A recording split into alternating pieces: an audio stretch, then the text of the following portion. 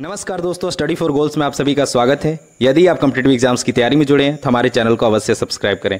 It's me Ranjeet Kumar you can follow me on Instagram and Twitter friends यदि आप इस channel पर नए हैं तो चैनल को सब्सक्राइब करना ना भूलें, क्योंकि यहाँ मिलेंगे आपको डेली मॉर्निंग फाइव ए को झारखंड के बेहतरीन करंट अफेयर तो चलिए फ्रेंड्स बिना देरी किए हुए देखते हैं आज के महत्वपूर्ण करंट अफेयर्स तीन जुलाई 2020 यानी आज आज का पहला प्रश्न है फ्रेंड्स झारखंड के किस कंपनी के द्वारा कोरोना मोबाइल टेस्टिंग लैब तैयार किया गया? अच्छा मोबाइल मोबाइल मीन्स मूवेबल एक ऐसा लैब जो एक जगह से दूसरे जगह जा सकता है। ऑप्शन है फ्रेंड्स बेबको रियाडा बियाडा और टाटा तो फ्रेंड्स मैं आपको बता दूँ, इसका सही आंसर क्या है? बेबको बेबको के द्वारा कोरोना मोबाइल टेस्टिंग लैब तैयार किया गया। चलिए आगे हम एक्सप्लेनेशन देख लेते हैं। तो फ्रेंड्स आपको बता दूँ, झारखंड में बढ़ते कोरोना संक्रमण और जाँच की प्रक्रिया को बढ़ाने के लिए आदित्यपुर औद्योगिक क्षेत्र, बेबको, यानी Bharat engineering and body building company ने कोरोना मोबाइल टेस्टिंग लैब तैयार किया गया तो आपको याद रखना है, बेबको का फुल फॉर्म भी याद रखना है, Bharat engineering and body building company. अगला पॉइंट है फ्रेंड्स, इस लैब के माध्यम से एक दिन में 400 से भी अधिक लोगों की जाँच की जाएगी, जिसका खर्च महज बारह सौ होगा, तथा रिपोर्ट भी 20 मिनट के अंदर ही दे दी जाएगी। अभी हाल ही में पाथकाइंड वगैरह प्राइवेट कंपनी के द्वारा जो कोरोना टेस्ट किया जा रहा था, वह चौबीस सौ रुपयों में टेस्ट किया जा रहा था, जो झारखंड का न्यूनतम मूल्य था और उससे भी न्यूनतम मूल्य बारह सौ पचास आ गया। तो मैं पाथकांड वगैरह इस कंपनी के बारे में, मैं पिछले वीडियोज़ में बता चुका हूँ, ठीक है फ्रेंड्स? चलिए, आगे देखते हैं। रियाडा था ऑप्शन में तो चलिए एटलीस्ट हम रियाडा का फुल फॉर्म तो जान ही लेते हैं। तो रियाडा ऑप्शन में है तो रियाडा का फुल फॉर्म क्या है फ्रेंड्स? तो रांची औद्योगिक क्षेत्र विकास प्राधिकार। और इसकी स्थापना कब हुई थी? तो 1973 में हुई थी और यह एक ऑटोनॉमस बॉडी है। उस समय बिहार, झारखंड, बिहार एक ही था और उसी दौरान इसका स्थापना हुआ था। दूसरा ऑप्शन था फ्रेंड्स बियाडा बियाडा का फुल फॉर्म क्या है फ्रेंड्स बोकारो औद्योगिक क्षेत्र विकास प्राधिकार, यानी Bokaro industrial development authority Bokaro industrial development authority तीसरा जो ऑप्शन था फ्रेंड्स वह था टाटा स्टील तो चलिए, जब टाटा स्टील का ज़िक्र हो गया तो टाटा स्टील के बारे में भी थोड़ा बहुत जान लेते हैं। तो टाटा स्टील पूर्व में Tata iron and steel company limited यानी टिस्को का कारखाना था और इस कारखाने का स्थापना कब हुआ था? तो 1907 में जमशेदपुर जमशेदपुर, यानी हमारे टाटा शहर में हुआ था।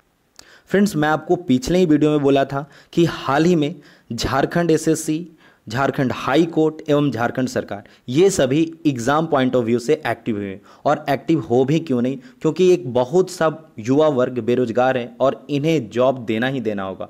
और जॉब वैकेंसी तो लाना ही होगा ताकि युवाओं का ध्यान वहाँ केंद्रित किया जा सके। और हाल ही में आप सभी को पता है कि जेएसएससी ने जेपीएससी ने सॉरी जेपीएससी ने जो 326 विद्यार्थी जेपी सिक्स जे में सेलेक्ट हुए हैं, उनको, उन्हें सर्टिफिकेट वेरिफिकेशन के लिए बुलाया। यानी इससे यह से निकलता है कि जे पी एवं जे एक्टिव है फ्रेंड्स तो आप भी एक्टिव हो जाइए और जम के तैयारी कीजिए। और ये तैयारी कैसे होगी? तो आपको टेक्स्ट वाली तैयारी, टेक्स्ट बुक वाली तैयारी सबसे ज़्यादा करनी यानी आपका जो जेएसएससी सचिवालय को एग्ज़ाम्पल के तौर पे ले लेते हैं। जे सचिवालय में जो पाँच सेक्शन से प्रश्न पूछे जाते हैं, जो 120 प्रश्न पीटी होते हैं तो आपको उस पाँचों सेक्शन के सेपरेट बुक्स एटलीस्ट एक बार पूरा होना चाहिए। और इस एग्ज़ाम्पल के तौर पर कैसे कैसे हम समझेंगे कि आपका तैयारी पूरा है? तो इस एग्ज़ाम्पल के तौर पर ऐसे समझेंगे कि अगर मैंने अभी ज़िक्र आया था रियाडा, अगर मैं रियाडा का ज़िक्र करूँ तो आपको पता चलना चाहिए कि झारखंड जीके के बुक में रियाडा कहाँ पे है? रियाडा के बारे में किस पेज पे नॉलेज दिया गया? एग्जैक्ट आपको पेज तो याद नहीं होना चाहिए, लेकिन आपको यह पता होना चाहिए किस पेज के आसपास है। तब जाके आपको पता चलेगा कि आपका जो तैयारी है, वह सही है। यदि आप ऐसा नहीं कर पा रहे तो इधर उधर समय बर्बाद करना बंद कीजिए और तैयारी में जुट जाइए। चलिए फ्रेंड्स देखते हैं आज का दूसरा प्रश्न। दूसरा प्रश्न है, हाल ही में मुख्यमंत्री हेमंत सोरेन ने रेरा पोर्टल का ऑनलाइन उद्घाटन किया। इस पोर्टल का संबंध निम्न में से किससे है? तो ऑप्शन है शेयर मार्केट से, शिक्षा विभाग से, रियल एस्टेट से, मेडिकल क्षेत्र से। तो फ्रेंड्स, इसका सही आंसर आप याद रखिए, यह जो रेरा है, वो रियल एस्टेट से संबंधित है।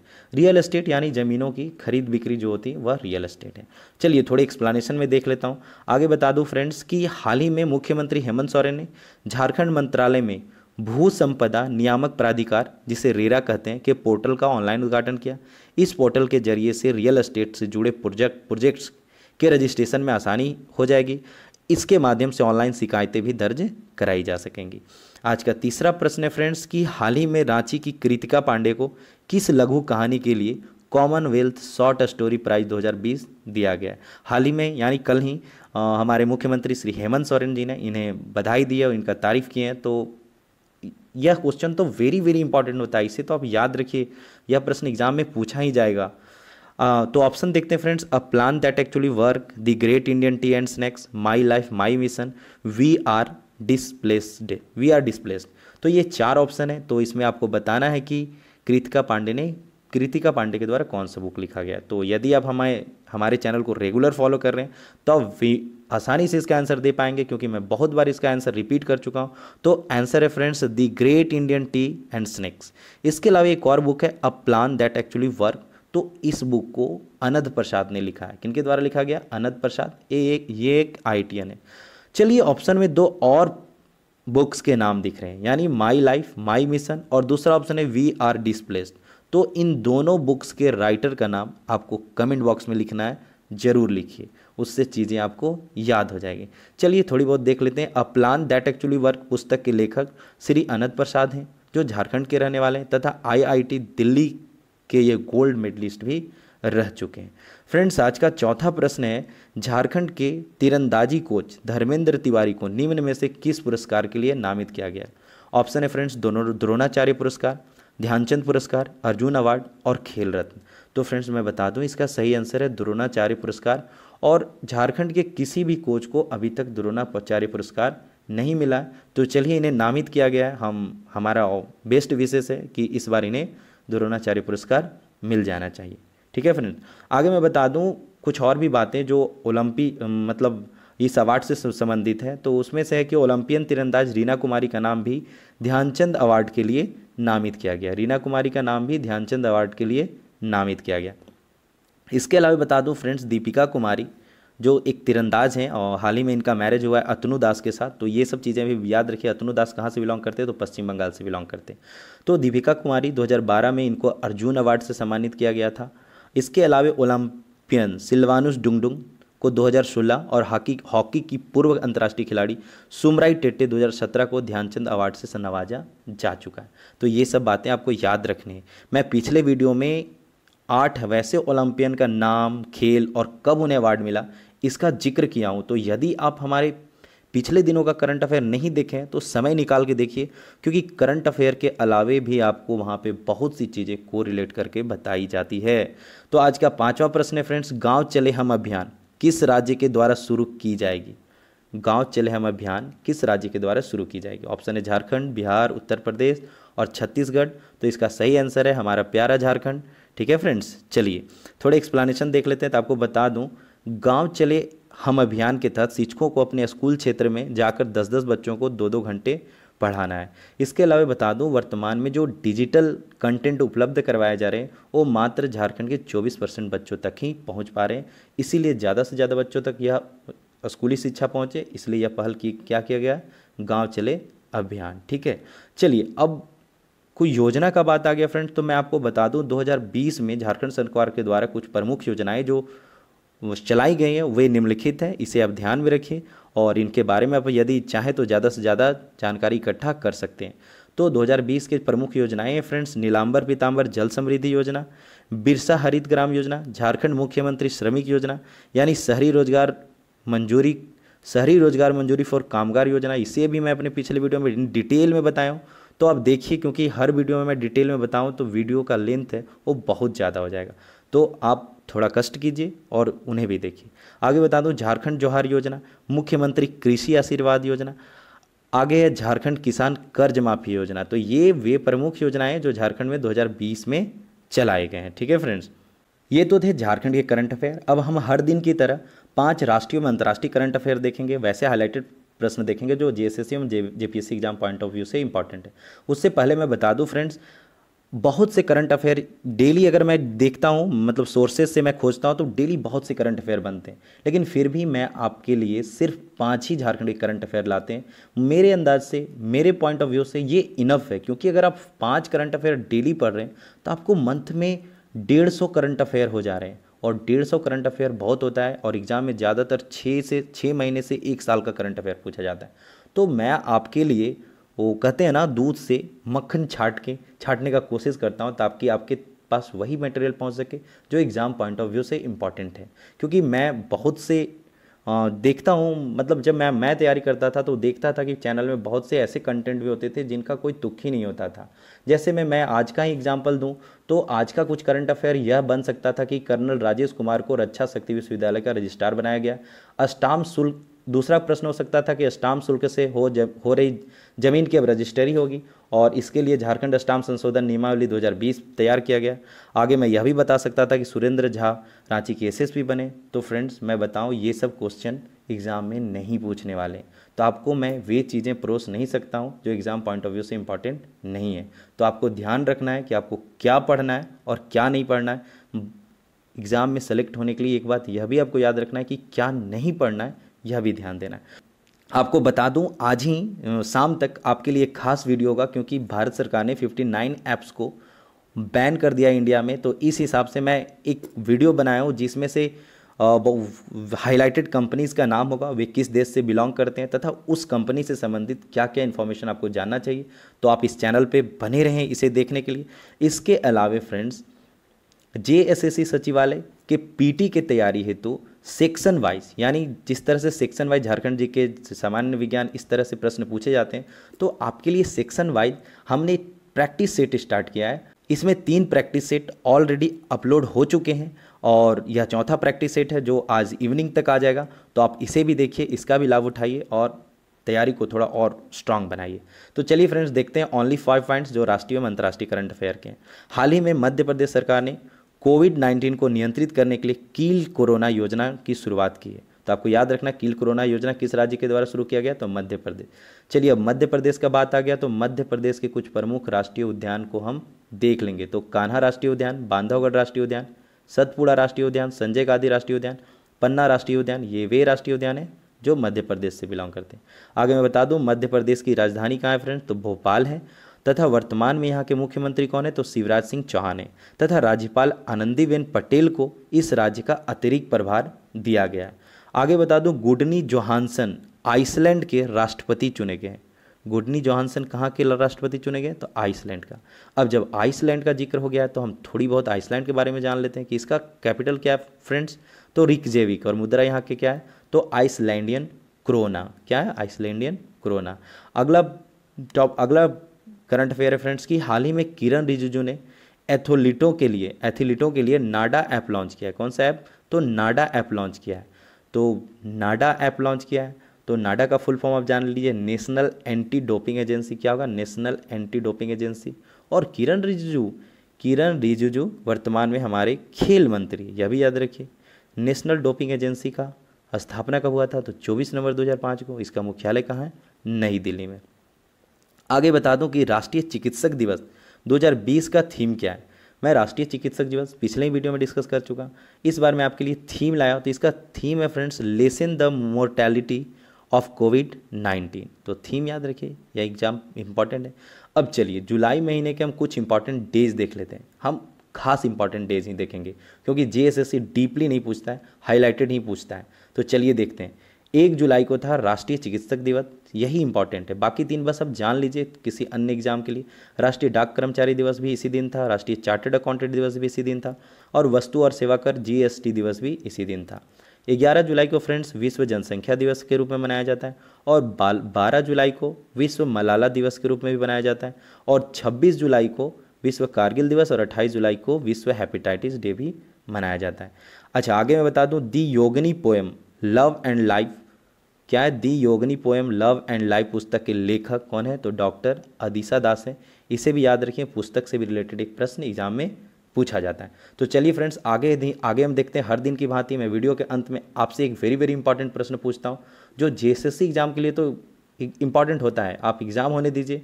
और मैं आपको याद दिलाऊँगा कि क्वेश्चन ऑफ़ द डे से कितने प्रश्न पूछे गए।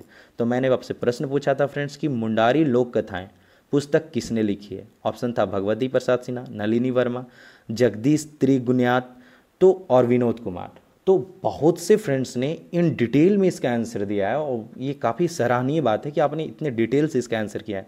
तो जो नए व्यूवर्स हैं, मैं उन्हें बता दूँ कि जब भी आप वीडियो देखिए तो लास्ट में एक बार कमेंट को ज़रूर चेक किया कीजिए, क्योंकि बहुत से मित्र बहुत डिटेल में आंसर देते हैं और बहुत सी बातें होती बहुत सी बातें तो मैं आपके कमेंट से सीखता हूँ।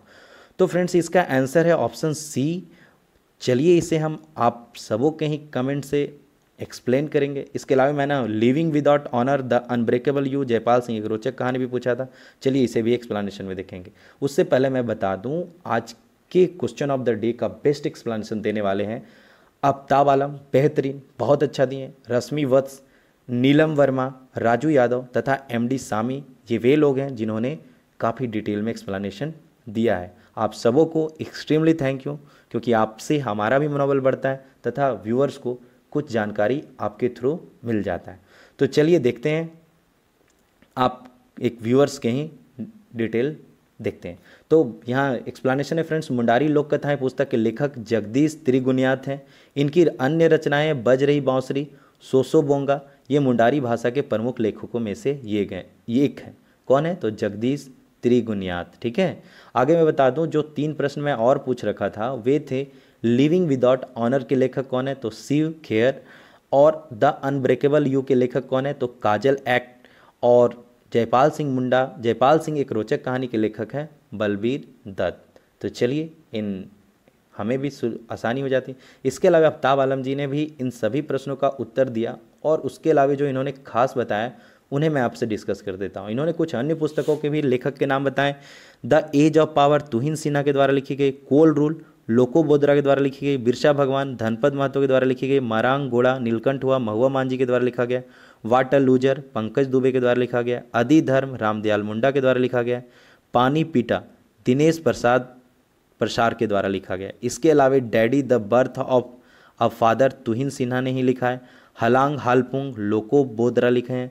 डाह नाटक सुकुमार जी के द्वारा लिखा गया तथा संझावटी दिनेश प्रसाद के द्वारा लिखा गया। तो देखिए, आपके सामने एग्ज़ाम्पल है कि आपको कितने इन्फॉर्मेशन डिस्क्रिप्शन बॉक्स से मिल जाते हैं। तो आप डिस्क्रिप्शन बॉक्स विज़िट किया कीजिए। तो चलिए फ्रेंड्स हर दिन की तरह आज भी आपके लिए क्वेश्चन ऑफ़ द डे इसका भी आंसर आपको इन डिटेल में देना डिटेल्स में दीजिए भी। क्वेश्चन है, पालकोट अभ्यारण्य झारखंड के किस ज़िले में स्थित है? तथा इसका स्थापना कब हुआ था, यह भी आप हमें बताइए। ऑप्शन है फ्रेंड्स चतरा, गुमला, धनबाद और कोडरमा। तो पालकोट अभ्यारण्य का आंसर तो आपको करना ही करना है। उसके साथ ये जो चार ज़िले हैं फ्रेंड्स ये चार ज़िले में कौन कौन अभ्यारण्य है? सिर्फ़ आपको चार ही लिखने इन चारों ज़िले में जो अभ्यारण्य उन्हें लिखिए। और ये चारों ज़िले में जो अभ्यारण्य फ्रेंड्स वो इंपॉर्टेंट हो जाते हैं। तो फ्रेंड्स यह तो था आज का राष्ट्रीय एवं अंतर्राष्ट्रीय करंट अफेयर साथ ही झारखंड के महत्वपूर्ण करंट अफेयर्स फ्रेंड्स यदि आपको हमारा यह पहल या हमारा यह वीडियो अच्छा लगता है तो आप इसे ज़रूर लाइक करें। लाइक बटन पर ज़रूर क्लिक करें तथा इस वीडियो को आप अपने मित्रों के साथ ज़रूर शेयर करें। फ्रेंड्स मैं बता दूँ, हमारी टीम पूरी दिन खर्च करके, एक पूरा दिन हमें लगता है यह वीडियो आपके लिए तैयार करने में। तो आप हमारे लिए यह कीजिए कि अपना सिर्फ़ एक मिनट निकालिए और इस लिंक को आप के व्हाट्सएप में जितने व्हाट्सएप ग्रुप हैं स्टडी से रिलेटेड वहाँ शेयर कीजिए। तथा लॉकडाउन के वजह से बहुत से मित्रों तक जो गाँव से बिलोंग करते हैं, उनके पास ऑथेंटिक मटेरियल नहीं पहुँच पा रहा है। या फिर कोचिंग क्लासेस वगैरह बंद है तो उनकी तैयारी अच्छे से नहीं हो पा रही है। तो आप बेहिचक इन्हें उन मित्रों के साथ ज़रूर शेयर करें, क्योंकि जितना नंबर ऑफ़ ज़्यादा व्यूज़ होगा फ्रेंड्स हमें मोटिवेशन मिलेगा। और हम तक, हम आपके लिए बेहतरीन से बेहतरीन स्टडी मटेरियल प्रोवाइड करने के लिए कार्यरत होंगे। इसके अलावा फ्रेंड्स, मैं बता दूँ, नीचे दिए गए social media study for goals के सोशल मीडिया हैंडलिंग्स हैं। आप हर जगह हमें फॉलो कर सकते हैं। इस लिंक पे क्लिक करके आप हमसे जुड़ सकते हैं। अच्छा ये तो हुए ये सब चीज़ें आप पीडीएफ में देख लीजिएगा। तो पीडीएफ आप हमारे टेलीग्राम चैनल से डेली मॉर्निंग फाइव ए को डाउनलोड कर सकते हैं। इसके अलावा हमारे टेलीग्राम चैनल पर क्वीज़ भी हो रही है, लगातार हो रही है तो क्वीज़ का भी क्वीज़ का भी हिस्सा बनिए। चलिए, आपका मैं दो मिनट और लेता हूँ और आपके लिए कुछ स्ट्रेट एग्ज़ाम स्ट्रेटेजी या जेएसएससी की तैयारी से संबंधित कुछ बातें आपसे बताता हूँ। तो फ्रेंड्स आपको बता दूँ जेएसएससी कोई सीबीएसई की तरह संस्था नहीं है, जो रेगुलर एग्ज़ाम एग्जामिनेशन करवाती हो। यानी यहाँ आपको यह सुविधा नहीं मिलेगी कि आप एक बार एग्ज़ाम में चूक गए या असफल रहें तो अगले साल फिर से मौका मिल जाएगा। जे के कई एग्ज़ाम ऐसे हैं फ्रेंड्स जहाँ यदि आपने एक बार मौका गंवा दिया तो शायद फिर आपको मौका ना ही मिले। चलिए इसे, इस संदर्भ में हम आपको एक एग्ज़ाम्पल दे देता हूँ। कि मान लीजिए जी अभी जो झारखंड दरोगा का बहाली हुआ 2018 में, उसमें मान लीजिए एज था 25 25 मान लेते हैं एज लिमिट था। यदि आप 24 वर्ष के थे पिछले बार और आपका सिलेक्शन नहीं हुआ तो जे हर साल दरोगा का वैकेंसी नहीं लाने वाला है।